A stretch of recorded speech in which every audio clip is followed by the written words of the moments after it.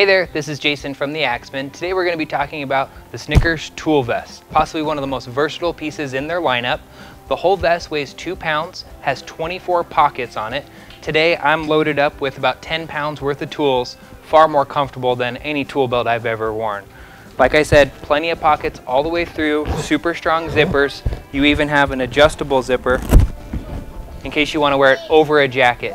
The other thing that's really nice is the vest is fully harness compatible and comes in three different colors. Black starts at 150, high vis orange and yellow 170.